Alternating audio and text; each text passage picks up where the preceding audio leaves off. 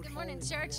It is good to be here with you this morning. We please stand and let's just uh, focus our hearts and worship our God? We serve an amazing God, amen? Oh, I know you're more awake than that. We serve an amazing God, amen?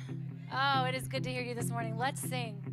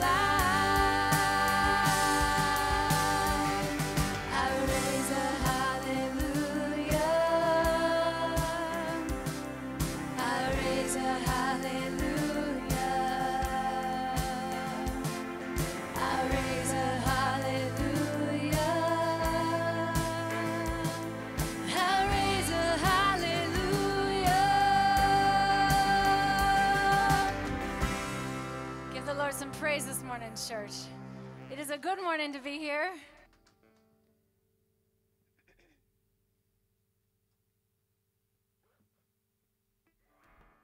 Got a new song for you this morning.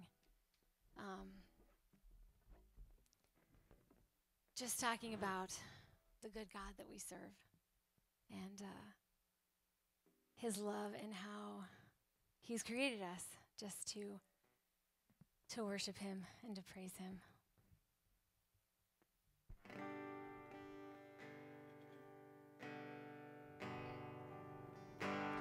I love you, Lord.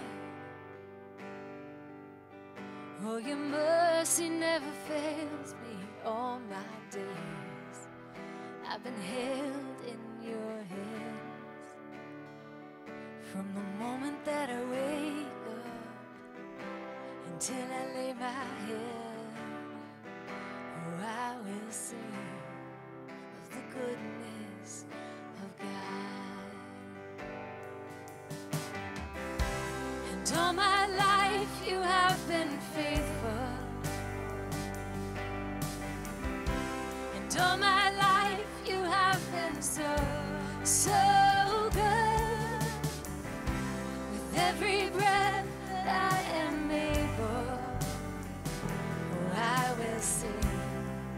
the goodness of God. I love your voice. You have led me through the fire and in darkest nights. It's like no other. I've known you as a father.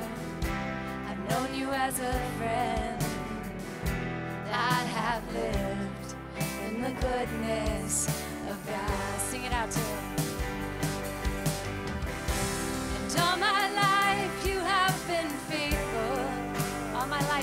so, so good.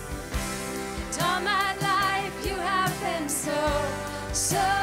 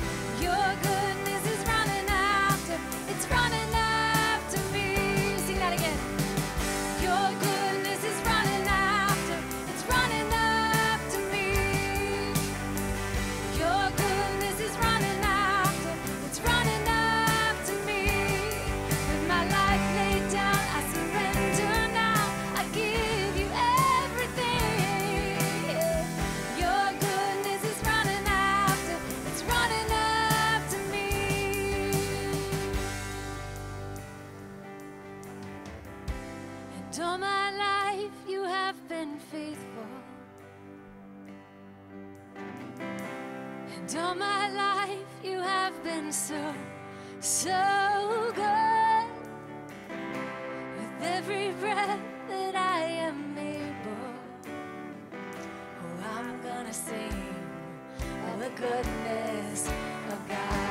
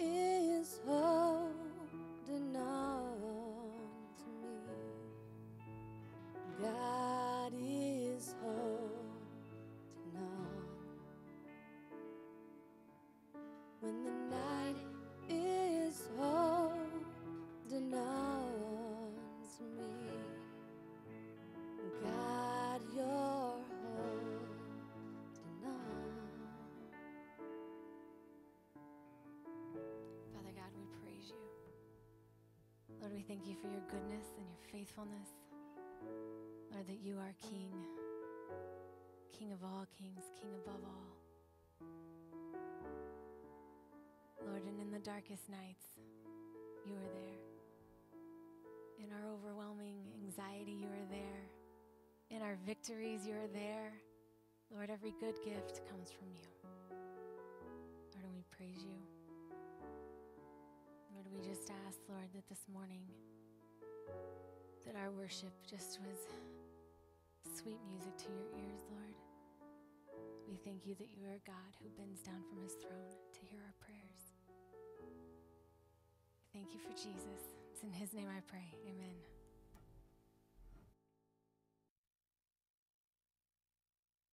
Good morning, church family. I'm just going to sneak by here. um, let me just tell you. Um, there's a couple guys in the back that I don't I don't talk about very much, but uh, they're here pretty early every Sunday morning, and there's some Sunday mornings, okay, that their job is a lot more difficult for them, and today was one of those days, and I just I appreciate you guys back there. I appreciate you guys always serving, okay? And they're like, shut up, dude. Just shut up. But that's why we're in the back, so we don't have to be in the front. Um, each week when we meet together at this time, we say our mission statement. We have narrowed it down to three words that have a much bigger meaning. I'm going to lead us in that now being, bringing, and building. Being a light, bringing others to salvation in Christ, and building disciples. As a leadership team, we've tightened a little closer around this. We want to serve your families well, so if there's a way that we can do that that maybe is being overlooked, uh, share it with us. Uh, we do want to know. Uh, but just as importantly, uh, we want to partner and grow your ministries. We're always going to be challenging you, encouraging you. Maybe you like that word better. I don't know. Uh, at this time, to be uh, praying, God, what do you want me to do with my time, talents, and resources? What do you want me to be doing with those things?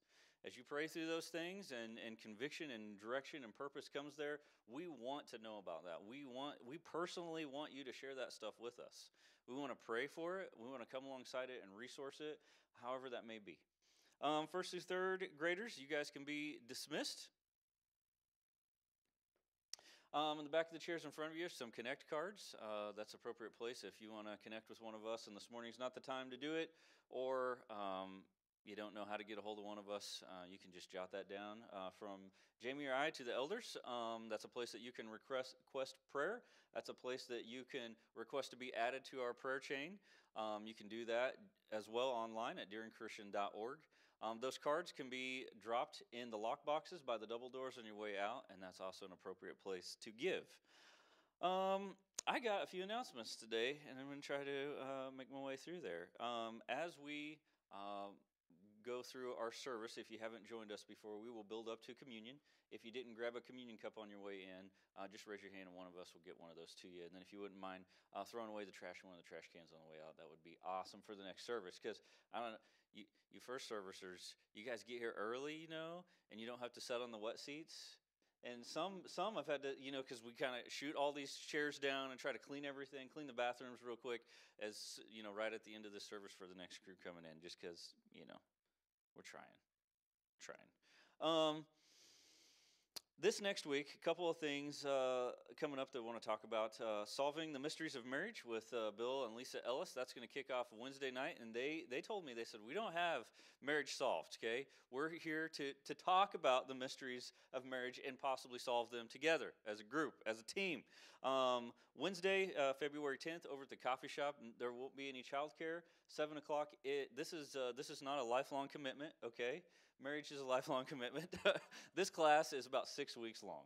So six weeks. Um, it's it's from what I've heard, it's a lot of fun. Okay, that's what I've heard from various different people that, that it was that it was challenging, that it was encouraging, and that it was a good time of fellowship together. Um, hymn would typically be taking place tonight. It's not going to take place tonight. It's going to take place next Sunday night. So if you're part of that, you're looking for that information next Sunday night, uh, Valentine's weekend. That'll be taking place.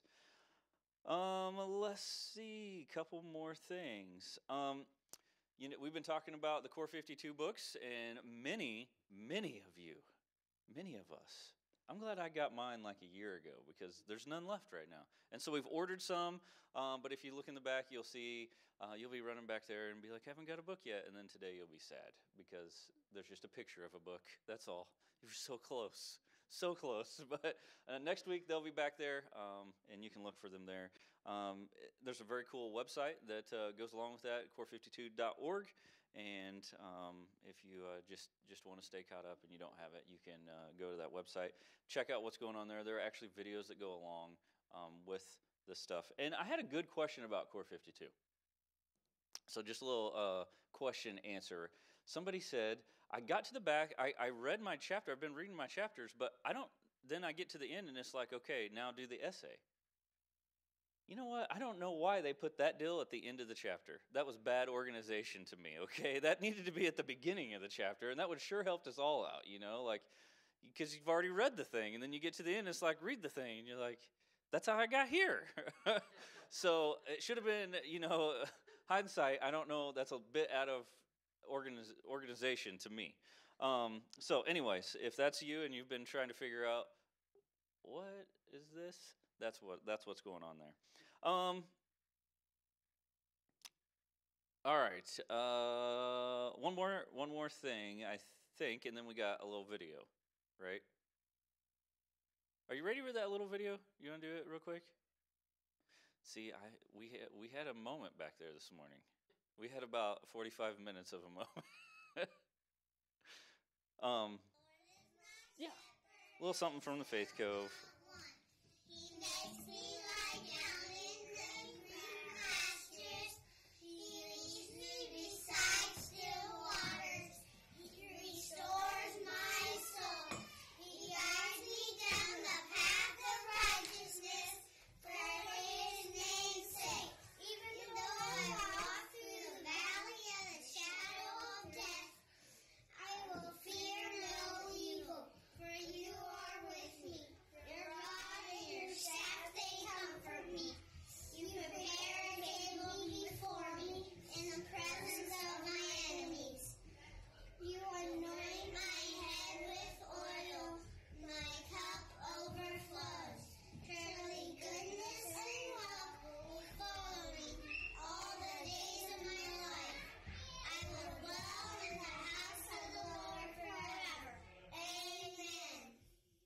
So, you know, there's some stuff going on back in the back. But I don't know about you, but anytime I watch a kid do memory work, it's like trying to feed an infant. Like I if I know the memory work, you know, have you ever tried to feed an infant, you know, and you're opening your mouth with the spoon Is they're I don't know, maybe it was just me, I don't know. But that's how when I watch kids do memory work, I'm like trying to, you know. Um, one last thing, and I'm going to get out of your faces and turn things over. Um, we have uh, we've we've had deacons implemented here for um, a couple of years now. Uh, this part of this last crew they've been on for quite a while and through kind of a kind of an interesting season and and part part of them their responsibilities are kind of coming to to an end uh, with that particular uh, position right now and so we're just gonna we're kind of putting this out here just like we have done in the past. Um, so we're looking for deacon nominations. It is a uh, year-long commitment. Um, and this is kind of how we do that here. Uh, we ask for our church body uh, to submit names that they feel like are qualified from God's Word, that they're willing to put in writing and sign themselves, and that are not family members. And so if you if you look around and you see somebody, you're like, I, I believe this person is, is qualified. I believe that this person this person is worthy of this and needs to be part of this, and they they they seem like servant leadership to me. Um, just go ahead and jot that down, and you can submit that to Jamie or I or one of the elders. Guys, we are so glad you're here. I'm excited for a new new sermon series. So we're rolling into something new today. So good morning.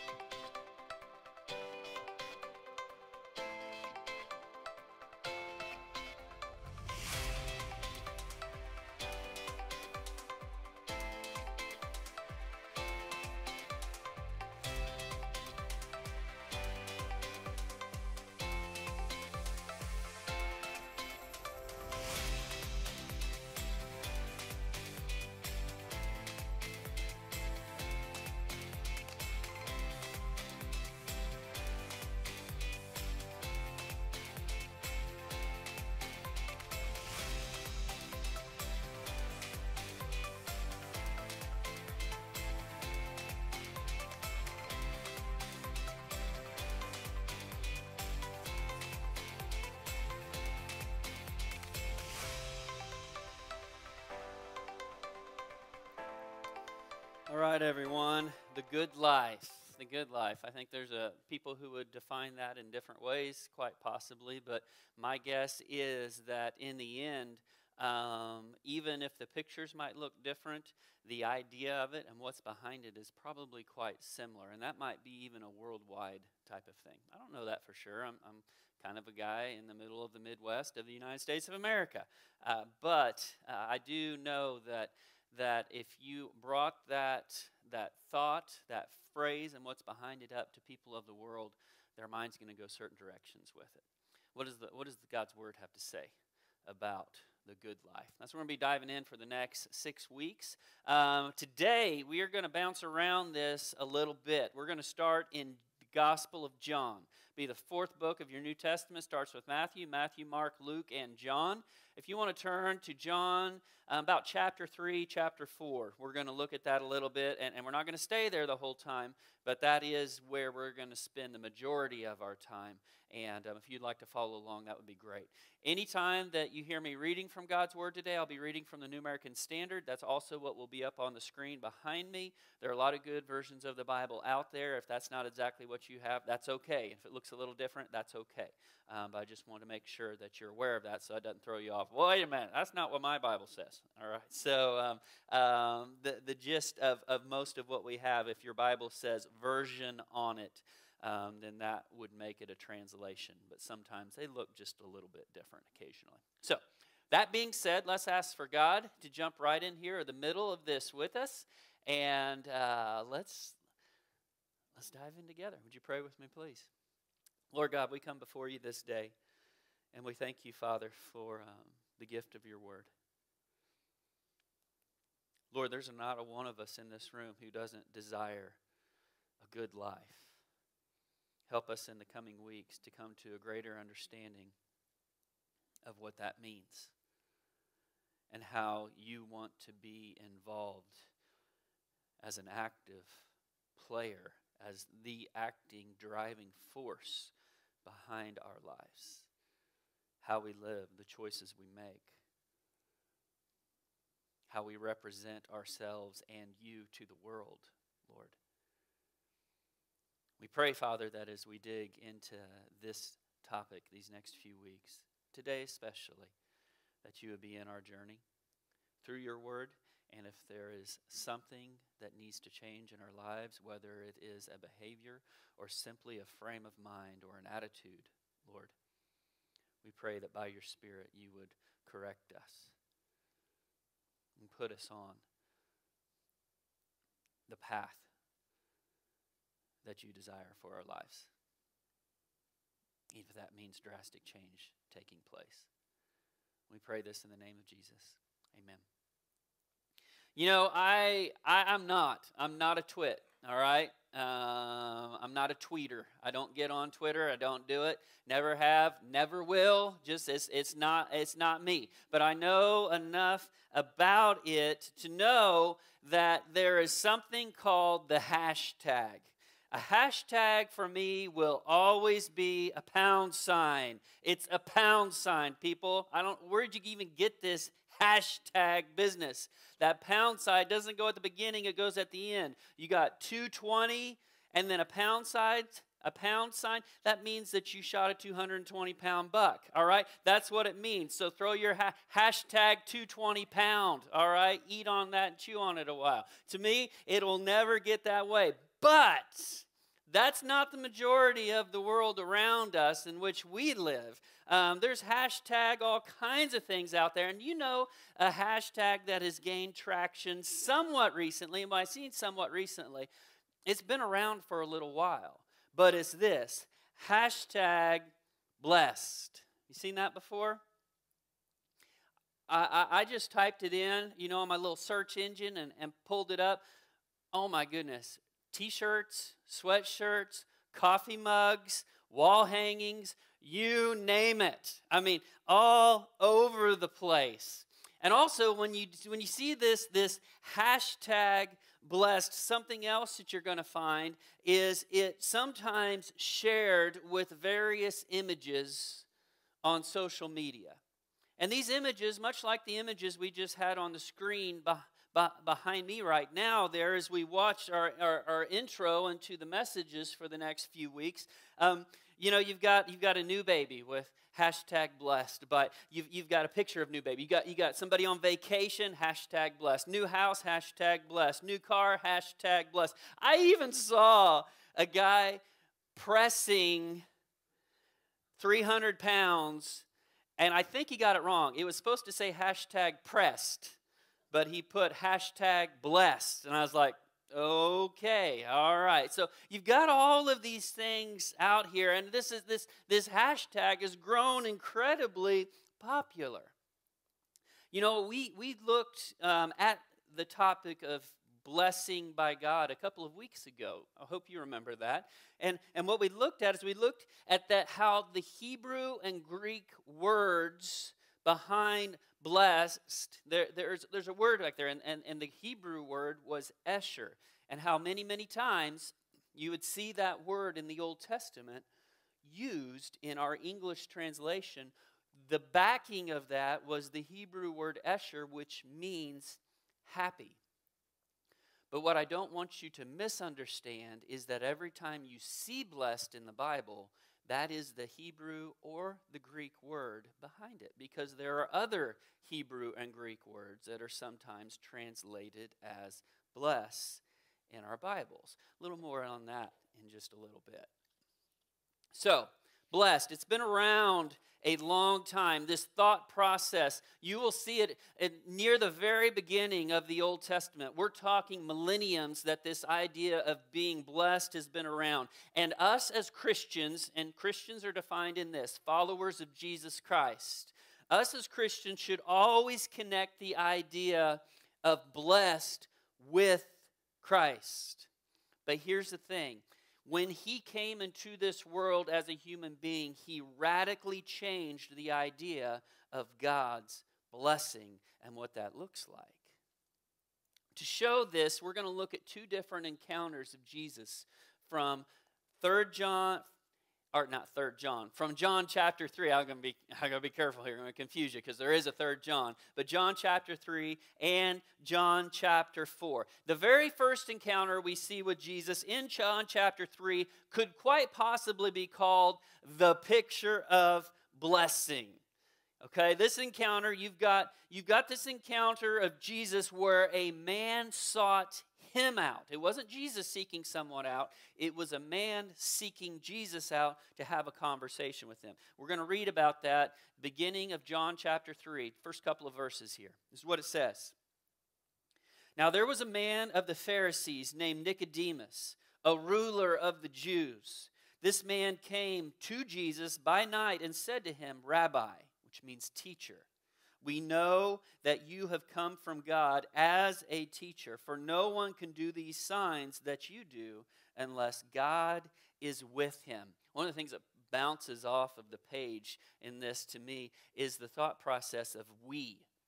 Nicodemus does not just use himself in the first person pronoun, he uses it in a plural sense. So it wasn't just Nicodemus who knew that Jesus was from God. And I'm assuming he's talking about some of the other Pharisees, religious leaders, priests. Right? So we have this guy. He is a Pharisee. He's not just a Pharisee, he's a ruler amongst the Jews. That tells us that he is a high ranking Pharisee.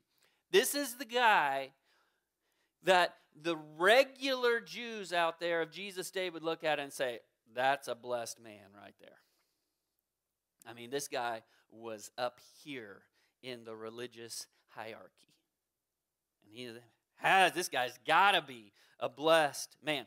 Now, he has, he seeks out Jesus and they have a conversation. Jesus dominates this conversation, which, which happens oftentimes, you know, because people like to hear what he's going to say, especially one who's seeking him sincerely. And, and Nicodemus comes, and, and Jesus gives Nicodemus in this conversation three major claims that we could tie to the idea of being blessed by God. Three of them. The first one is this Blessing comes from being a part of God's kingdom. Now, this would not be outrageous to Nicodemus. He would understand this fully. All right?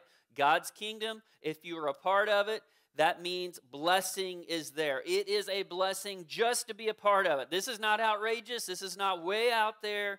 This is nothing brand new. So Nicodemus is like, right on. I understand what you're saying here. Ah, and then Jesus goes on, and it starts to throw something into this that Nicodemus has never thought about before. Number two, claim of Jesus. Only those who are born again can be a part of God's kingdom. Now, I'm going to read the words for you from Jesus rather than just summarizing them. This is verse 3 of John 3. It says, Jesus answered and said to him, Truly, truly, I say to you, this is how Jesus starts the conversation. Boy, get right to the nitty gritty right off the bat. Truly, truly, I say to you, unless one is born again, he cannot see the kingdom of God. Nicodemus said to him, How can a man be born again when he is old? He cannot enter a second time into his mother's womb and be born, can he?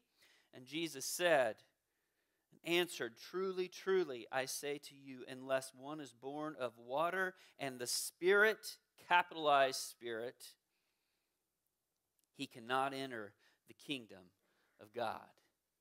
Right here in Jesus, this is a very early conversation of Jesus early in his ministry. I mean, this is right as things are starting to get rolling here.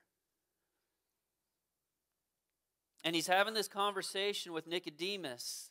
And Jesus, right there, I mean, he is a prophet. We're going to see that in the next encounter, but we knew that already. He, he makes incredible, direct, a direct connection to what is going to come about three years later on the day of Pentecost when the church would begin. This idea of, of being born of the water and the Spirit, it just kind of reminds me of something that one of Jesus' followers would say when they were asked, What do we do? They preached the gospel sermon. The, those who heard, not all of them, but many of them were cut to the heart, and they say, What do we do?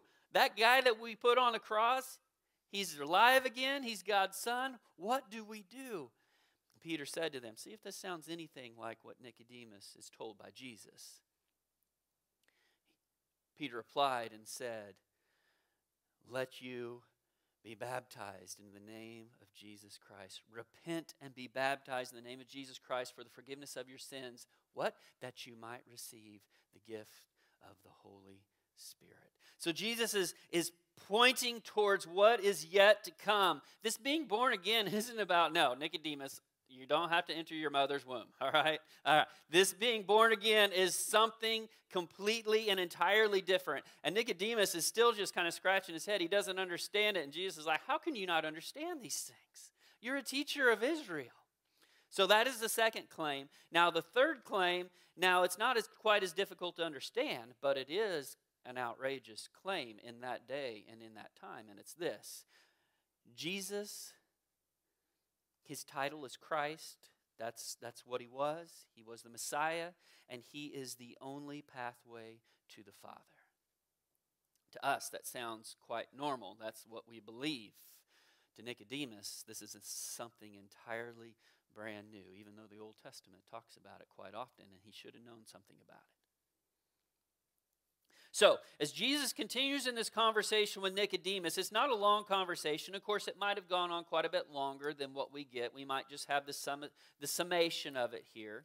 But as you look through about through about halfway through the chapter 3 there, what you will see is Jesus summing up his conversation with Nicodemus in this way. He's saying, "Blessing comes from being in the light." If you want to be blessed, you've got to be the light. And then Jesus pretty much makes it clear that He is the light. But the majority of the world will always prefer the darkness. You know why? It's so much easier to hide. Any you ever in, in a play or a musical or anything like that? We got some we got some actors or actresses out there. Um, I can remember back in the back in the day in high school, the dark ages, my brother-in-law would say, um, being in in a in a musical each and every year. My freshman year, Sound of Music, and my mom, oh man, she was in heaven. Her favorite movie musical of all time, and her son is one of them. Of course, I was just one of the kids. I didn't have a big role. I was the only kid probably the only boy in the county who could still hit that high note of good night, so long, farewell, that whole song business, you know. All right. Anyway, anyway.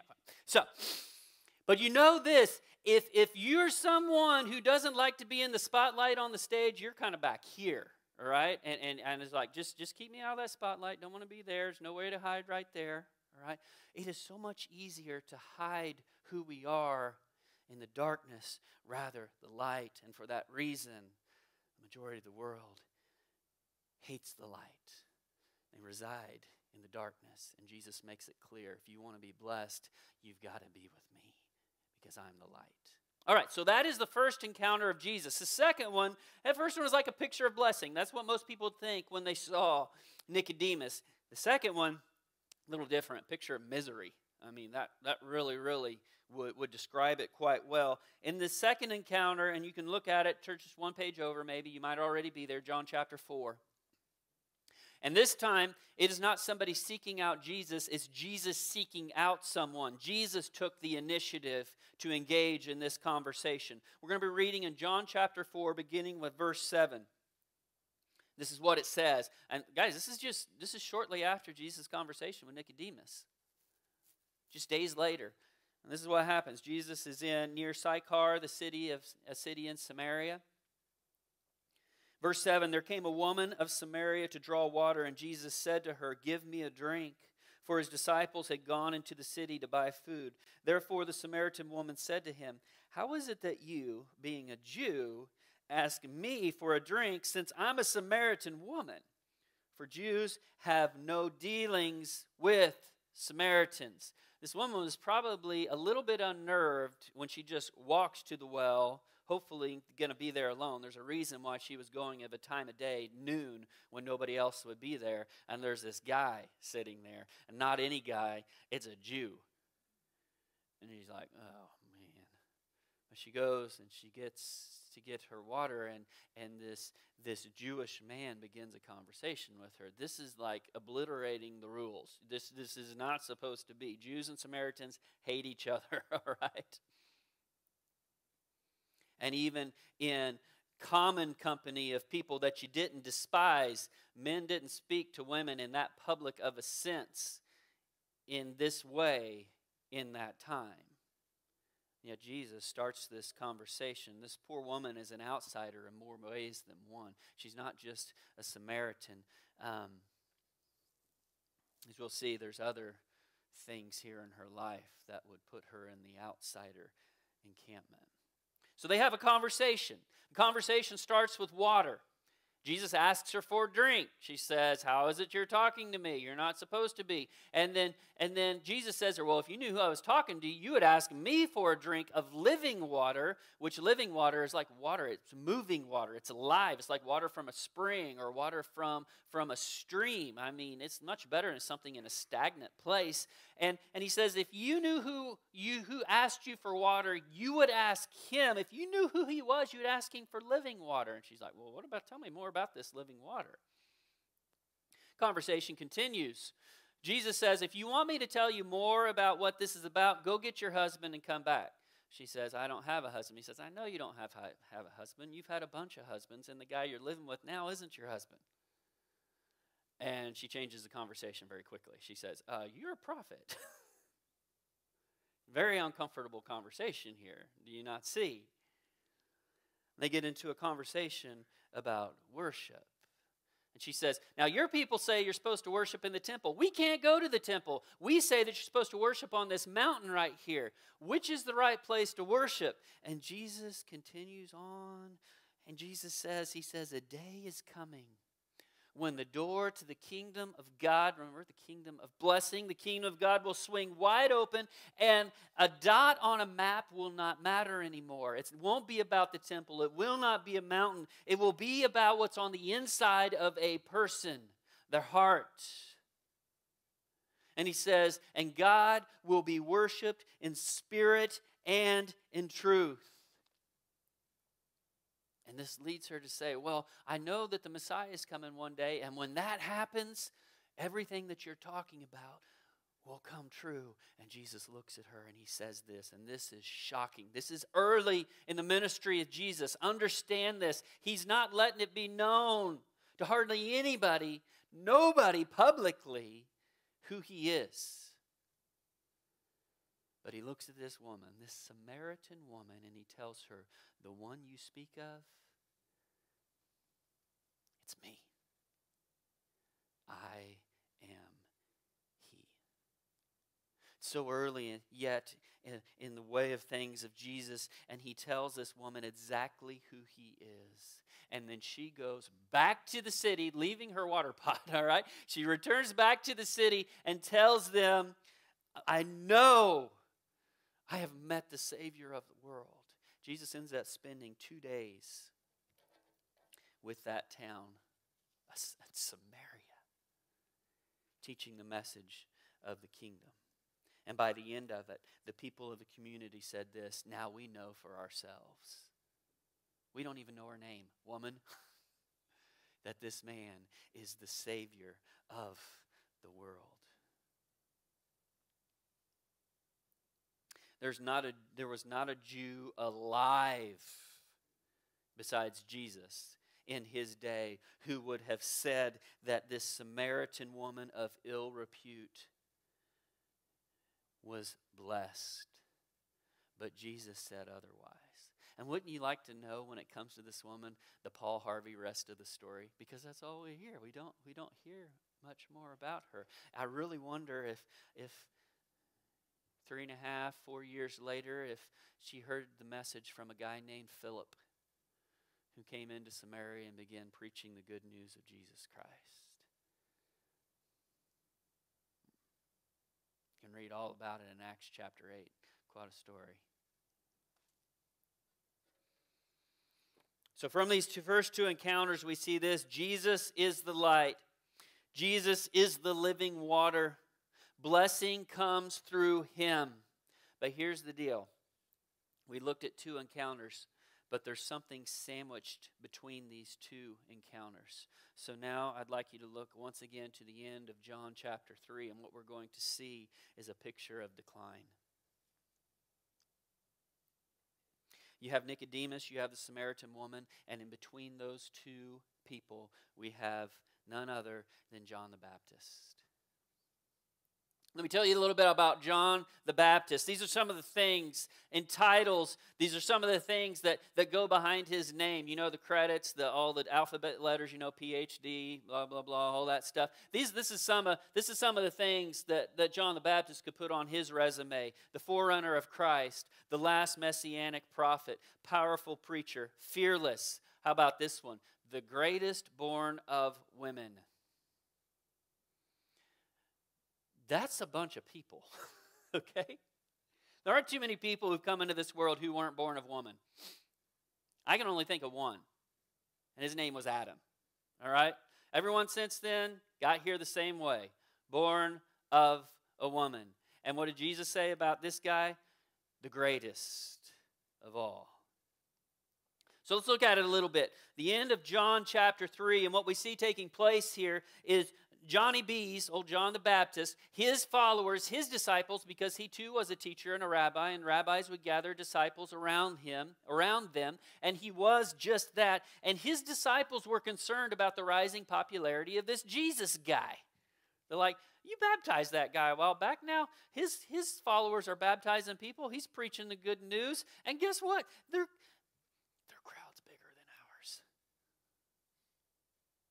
We got a problem here, John.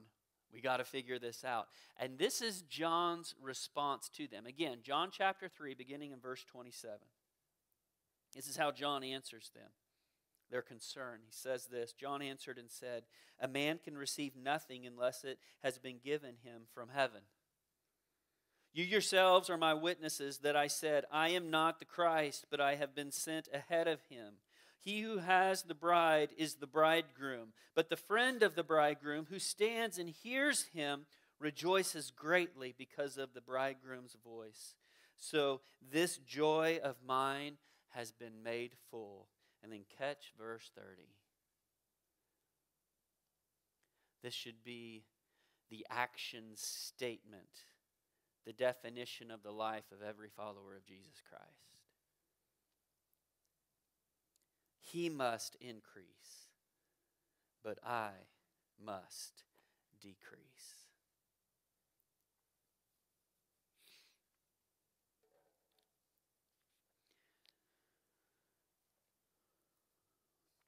You know, when you think of decline, it's not usually something that we think of in a positive sense. The decline of a civilization, the decline of, of an environment, the decline of the morality of a person or a civilization or a nation. I mean, it's just not something that we think of in any way whatsoever in a positive way.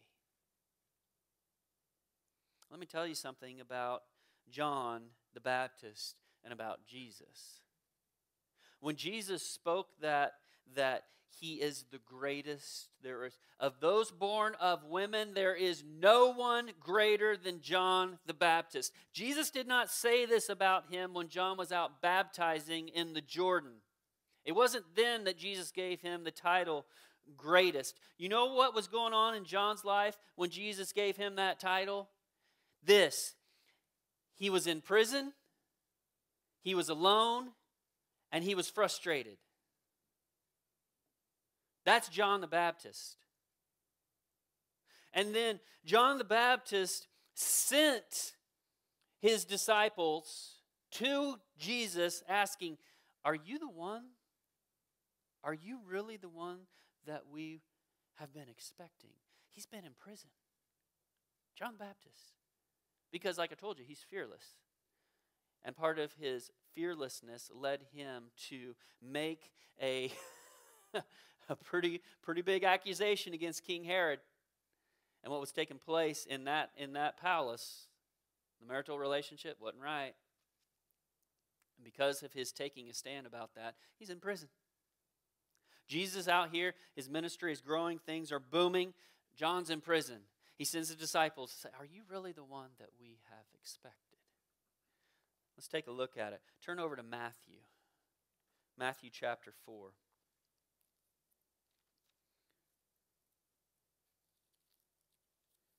We're going to see Jesus, or Matthew, I, I apologize, Matthew chapter 11. I turned, I was looking at verse 4 and I'm turning to Matthew 11. Turn to Matthew chapter 11. Matthew chapter 4 is when Jesus was baptized by John the Baptist. A little earlier than this. All right, look at Matthew 11, beginning with verse 4. This is Jesus' response to the followers of John who came with their questions. Jesus answered and said to them, Go and report to John what you hear and see. The blind receive sight, the lame walk, the lepers are cleansed, the deaf hear, the dead are raised up, and the poor have the gospel preached to them. And blessed is he who does not take offense at me. Jesus sends back his the disciples of John and he says, "Yes, I am the one." Report to report to John not just what you hear me say, but what you see taking place. The lame walk, the deaf hear, the blind see, the lepers are cleansed, the dead are raised.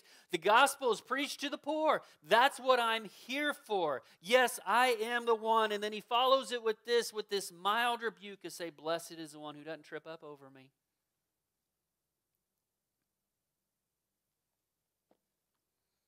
And the reason I know that that was just a, a mild little rebuke, just a tiny little kick in the seat of the pants to John is this because it's after that and after the messengers, the disciples of John leave, that Jesus makes his glowing statement about John being the greatest of those born of women.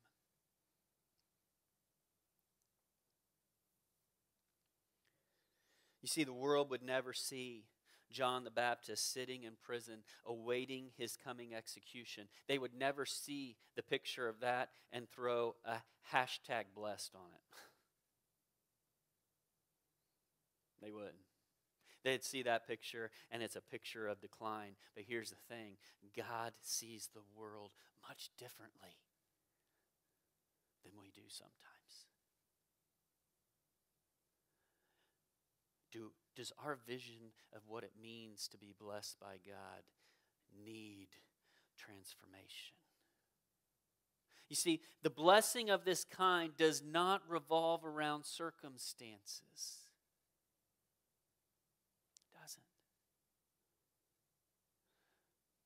Brothers and sisters, it's not a bad thing to desire a wall at the house with some pictures of incredible memories. It's, it's not a bad thing. But it's not truly what life is all about either. Because those pictures so often represent circumstances. The blessing of God doesn't revolve around circumstances. It revolves, it revolves around our Lord.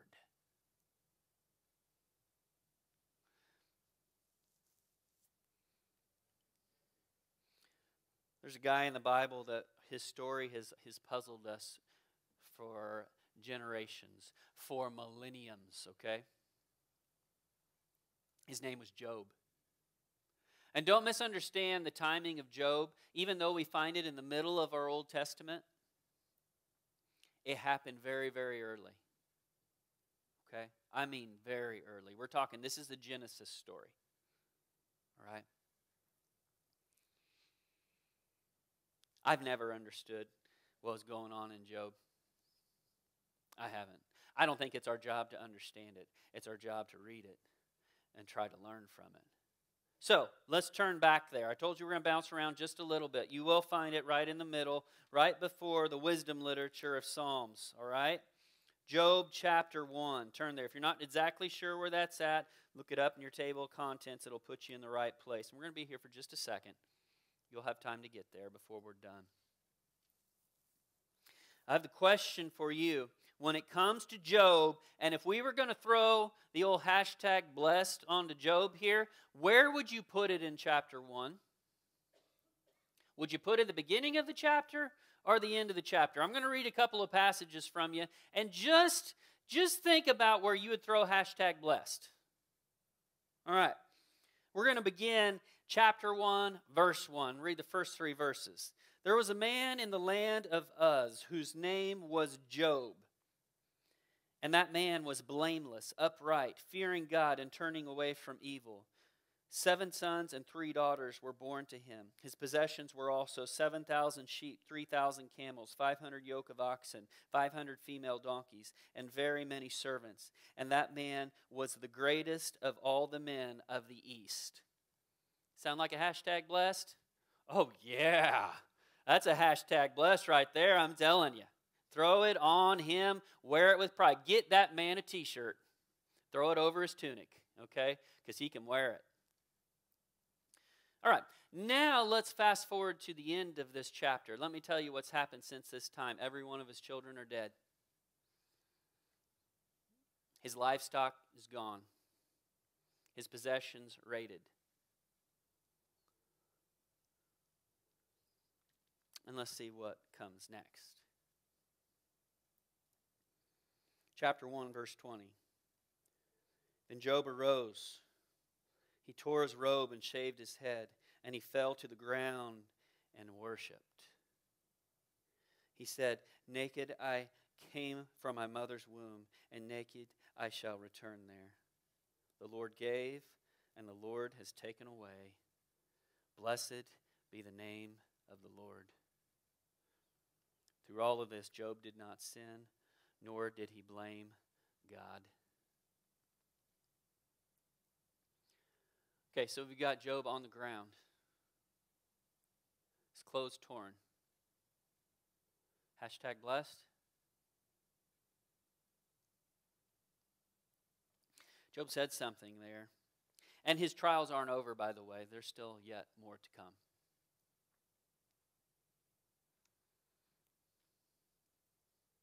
Job says something. He worships the Lord, and his worship is comprised of something along these lines. He says, Blessed be the name of the Lord. I told you at the beginning of this sermon that that word blessed, what we have in our Bible, that says blessed is many times representing different words in the Hebrew and the Greek. When we looked at blessed a couple of weeks ago from the wisdom literature and some of the Psalms of King David, the word blessed was backed up by the Hebrew word esher. Remember what it means? Happy. The word used by Job here, it's not esher. It's Barak, B A R A K. And what it means is this to kneel. Understand something, brothers and sisters. The man or woman or child wise enough to kneel before God in all times of life is truly blessed.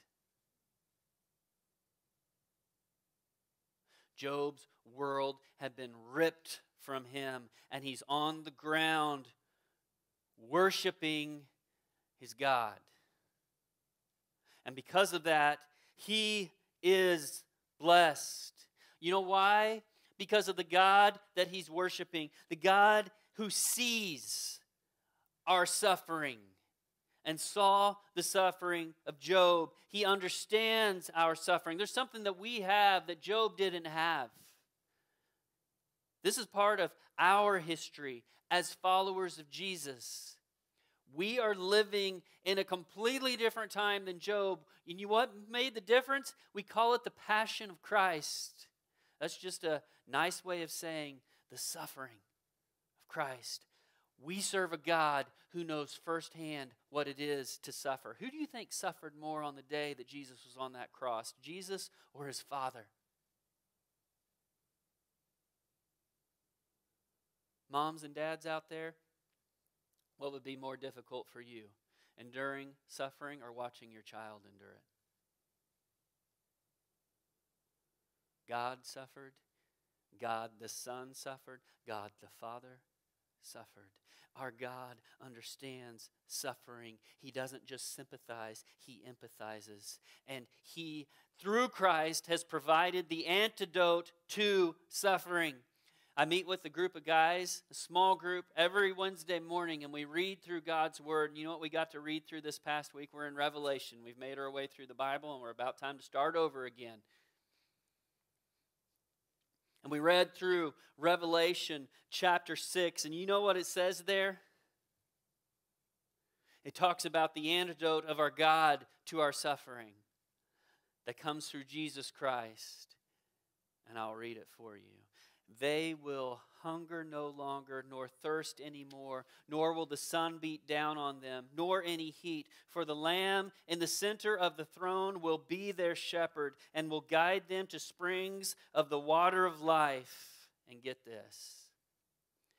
And God will wipe every tear from their eyes.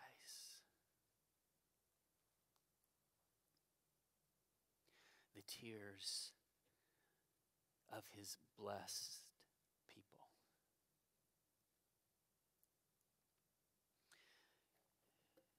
Brothers and sisters, we need to be very, very careful about how we define the blessing of God. Because it has less to do with our circumstances than we probably understand. And it has more to do with God who's there with us in the midst of wonderful times and horrible times. And one day, brothers and sisters, he will dry the tears of his people forever. Do you understand what that means? That's not just talking about Jesus standing there with his father with a giant Kleenex box, okay? It's talking about an end to suffering and evil and hurt and pain. It's gone. It's over. It is ancient history one day. And that's what God has for his people through Jesus Christ, his Son. We're coming to our time of communion. And in that time, let's just remember what our God has done for us. Have you suffered? There are people in this room who have suffered more than others. I don't even know how you quantify that.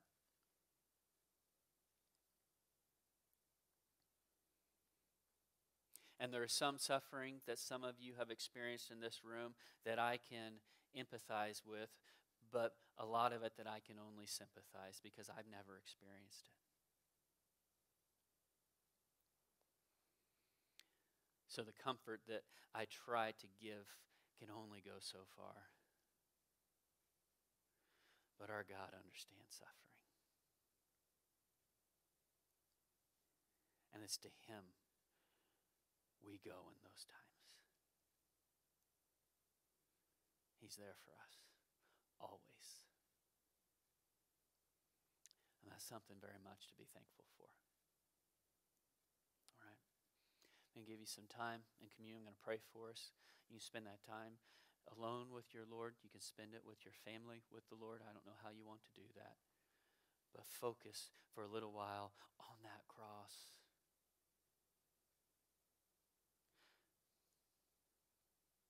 Because without that cross, we have no hope. Without that empty tomb, we have no hope. But our God has given us hope through what He's done for us and the future He's preparing for us, even as we speak now. Let's thank Him for it. Would you pray with me? Father, we come before you and we thank you for your goodness, Father. We sang about it this morning. We heard about it from your word. You are good. When life isn't good, you're still good. And we thank you, Lord, that our future is secure in you. And we thank you, Father, that one day suffering will be nothing more than an ancient memory. But until that day comes, Lord, strengthen us by your Son and by your Spirit to endure.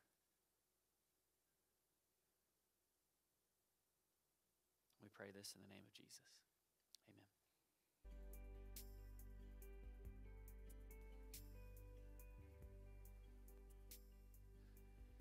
Please stand with me?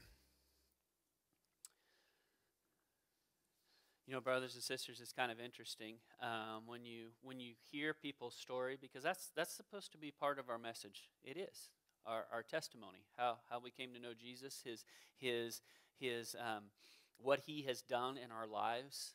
Um, that that's part of how we testify of of him to the world. I mean, that's not all of our all of our testimony. We we also get a lot of it from here, but but it is a personal relationship with Jesus Christ, and it affects us in a very personal way.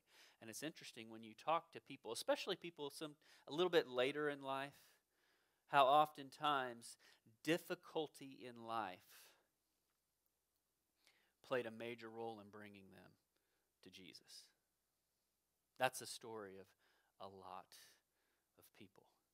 Um, C.S. Lewis put it in an amazingly poetic way because he was just good at that when he said that he said that God whispers in our pleasures but he screams in our pains it is God's megaphone to rouse a deaf world so it's it's amazing how this can change perspective but here's the thing if you are on the outside of that you can never understand it fully all right? And Jesus, what he said in those first two encounters is very true.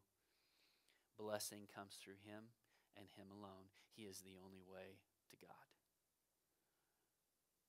And if you've never laid your life down before the foot of the cross, you've never gotten in those waters of baptism as it talks about Jesus' words to Nicodemus as a prophecy of what would take place on the day of Pentecost. What are you waiting for? Be made new through the person of Jesus Christ and change your life. All right. Give yourself the strength through the Spirit of God to walk in this world even in the difficult times. Okay? You weren't made to walk through those times alone. You weren't. All right.